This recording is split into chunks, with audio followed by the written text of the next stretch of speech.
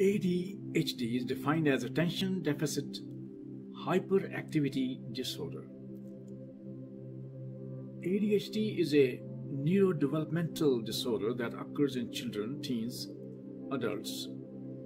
And the core symptoms are inattention. These symptoms can appear at home, work, or school, or in any social gathering.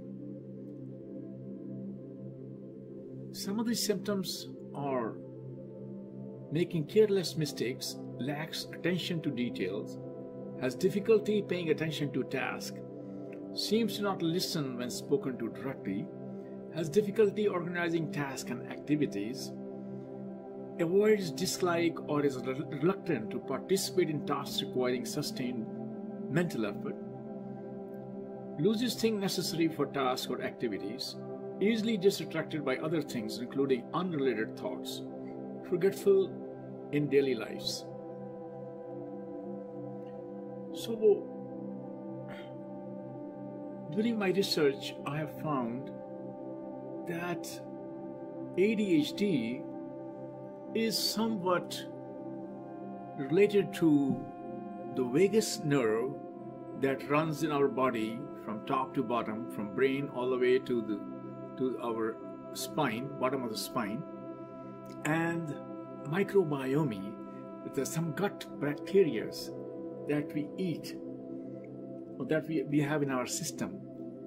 And also, there might be a connection between the energy chakras, seven, seven uh, prominent energy chakras, which might be blocked for some reason or the other. So, we're going to talk about these three items vagus nerve, microbiome, and the seven chakras in detail and see what can we do to clear them, unclog them, make the energy center better, and help with the ADHD.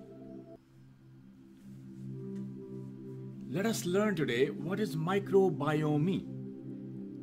Microbiomes or microbiota or microbes there are thousands of different tiny species living together in our body,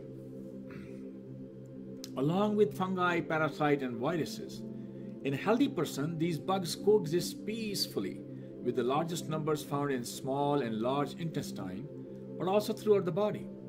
The microbiome is even labeled a sporting organ because it plays so many key roles in promoting the smooth daily operation of the human body. Each person has an entirely unique network of microbiota that is originally determined by one's DNA. The microbiome consists of microbes that are both helpful and potentially harmful as well. Most are symbiotic, where both human body and the microbiota benefit, and some, in smaller numbers, are pathogenic, promoting diseases. In a healthy body, Pathogenic and symbiotic microbiota or microbiome coexist without problems.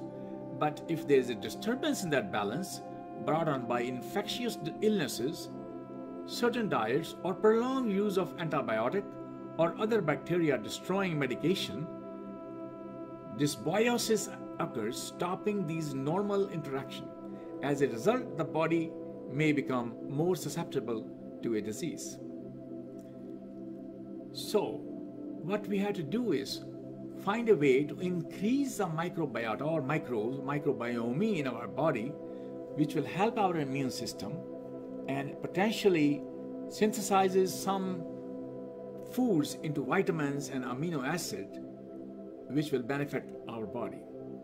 Sugars like table sugar and, and, and milk sugar are quickly absorbed in the upper part of the small intestine but more complex carbohydrates like starches and fibers are not as easily digested. There, the microbiota help to break down these compounds with their digestive enzyme.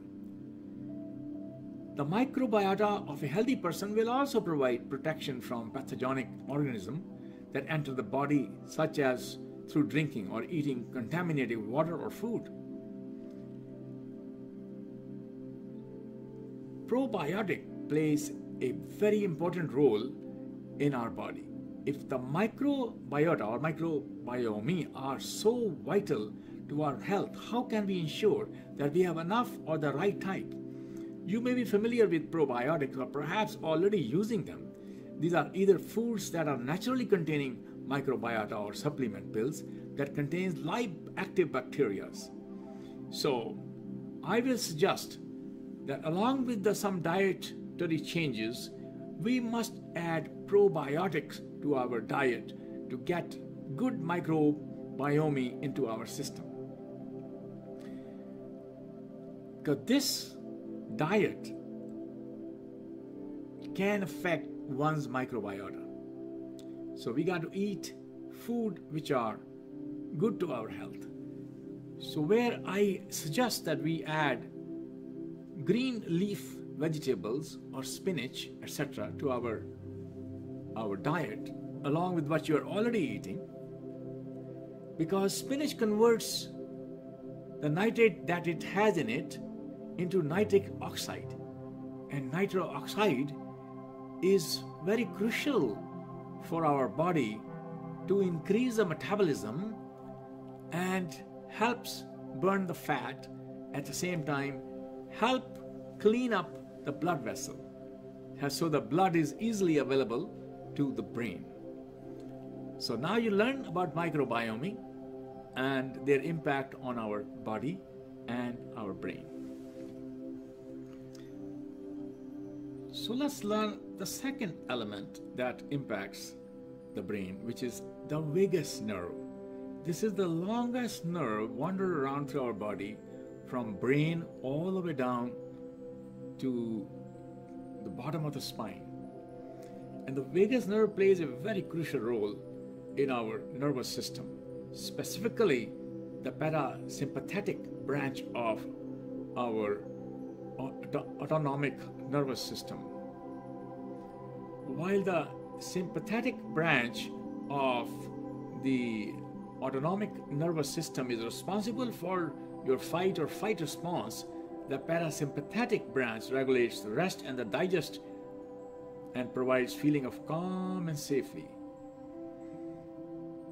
The vagus nerve also establishes communication between your brain and your gut and therefore has been the subject of extensive studies relating to mind-body connection. When the vagus nerves get stimulated, feelings of relaxation take over. Your heart rate decreases and breathing slows down. Vagal stimulation can happen naturally due to input from your environment, but you can also stimulate the vagus nerve through various techniques. So, we're going to talk about those techniques in just a few minutes so that now you know that the two areas that we need to work on to improve your ADHD or improving your microbiome, bacteria in your body, and stimulating your vagus nerve. All right, let's now go to the exercise, see how we can help. All right, guys, let's learn so about some of the There's exercises that we can do to stimulate the brain our vagus nerve. Very first one is just deep breathing. We Sit quietly and deep breathe. and also Try to do six breaths the vagus in one minute. So Just there's a go. connection between the vagus nerve stimulation, chakras, our energy centers, and micro guts. We have to Let it out from your mouth. learn how to balance So, all three these Deep breathe. That's one. Clear Number the two clogs, is just humming. So you can pick up better. any tune of a song hope you know and just start better, humming. very soon, very quick. Mm, oh, simply, if you know do re mi fa sol la ti, you just hum that. Or deep breathe. Close your ears with your fing- index fingers. Mm.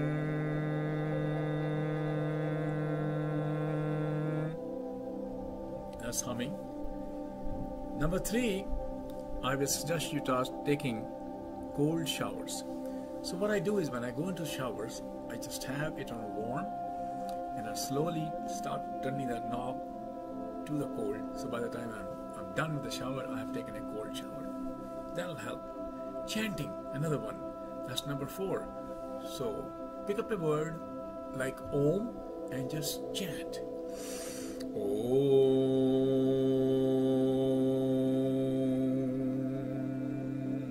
You can pick up any other word which you like. Lamb.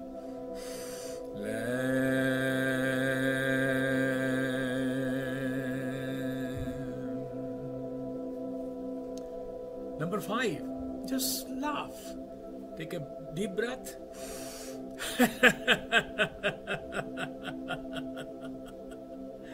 Simply laugh. That'll help.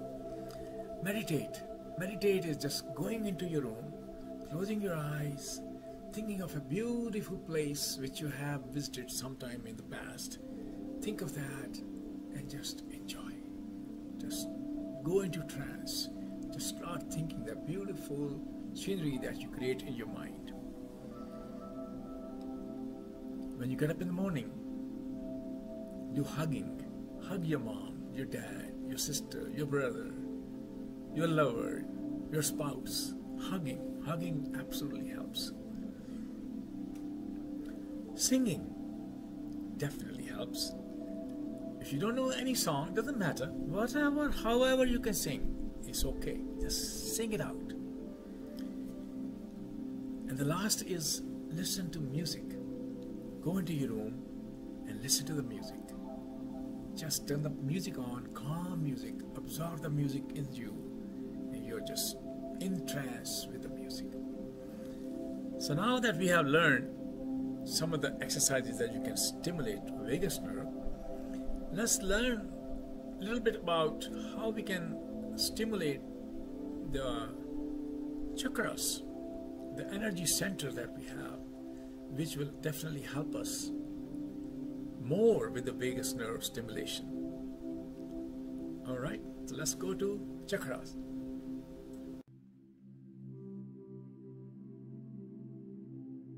A chakra is an energy center.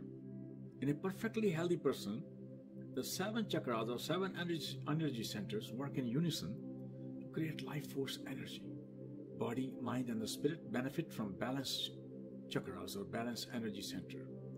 In addition, each chakra has its own symbol, color, and meaning. That's all the basic information we need to know. The chakra points make up a straight line starting at the bottom of your spine and end at the crown of your head. There are seven chakras in total the root chakra, sacral chakra, the solar plex chakra, the heart chakra, the throat, the third eye, and the crown chakra. So, we're going to talk about these chakras one at a time. The very first one is the root chakra. The color is red. The location is at the bottom of the tailbone. And the official name, Chakra Muladhara, actually is translated as root and the sport. This chakra's role is to connect all of your physical bodily energy with earth itself. In other words, this chakra really grounds you. This chakra is also linked to everything we need to survive, including breathing, eating, sleeping, and experiencing physical security. The next chakra is called sacral chakra, and the color of the chakra is orange. The location is in your pelvic region, a couple of inches below your belly button.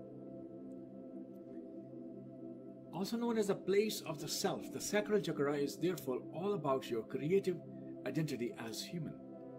It helps you enjoy your life here on earth.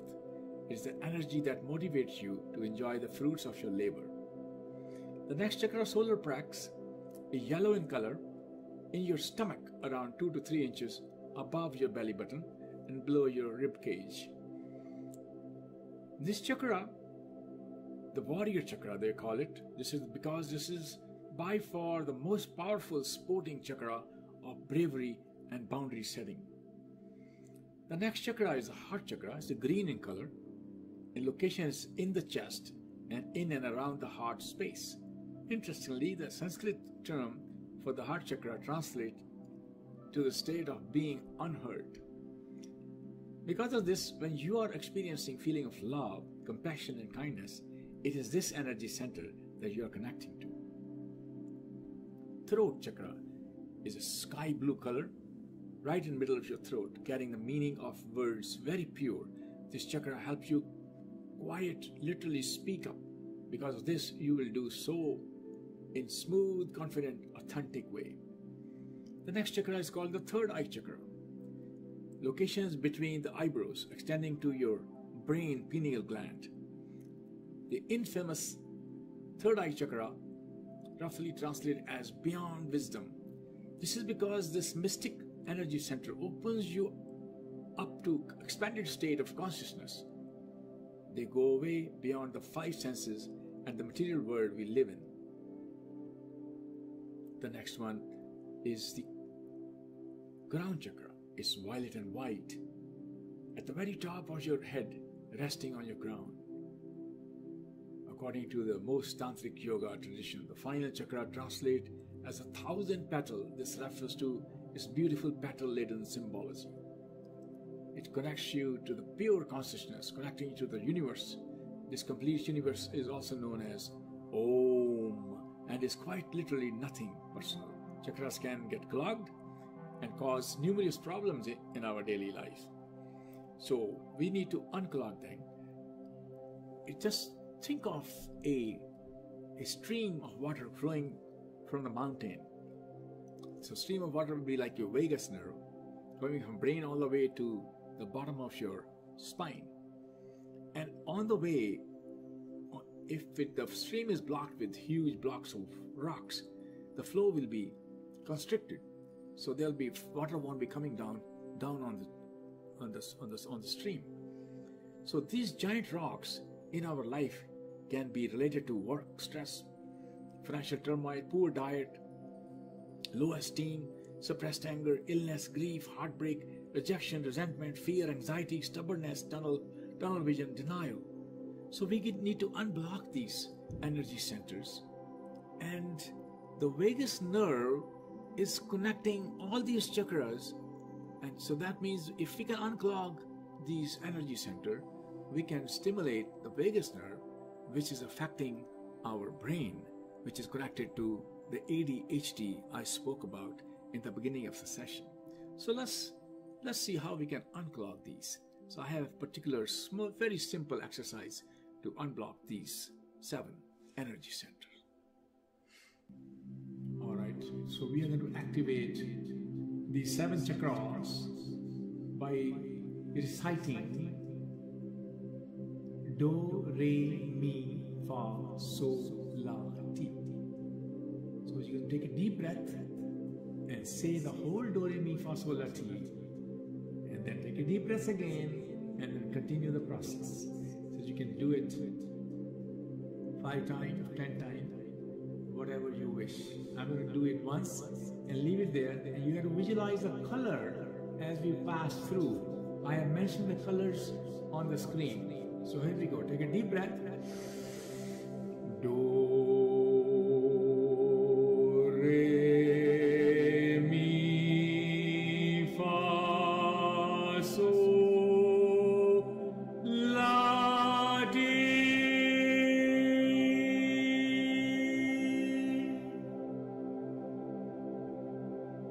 One more time. Deep breath.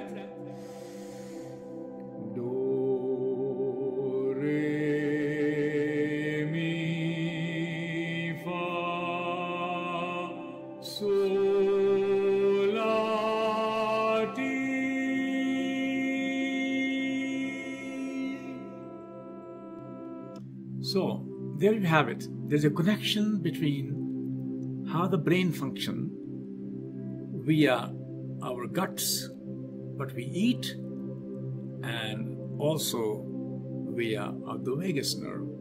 So there's a connection between the vagus nerve stimulation, chakras, our energy centers, and the micro guts. We have to learn how to balance all three these three, clear the clogs, clear the blockages, and feel better.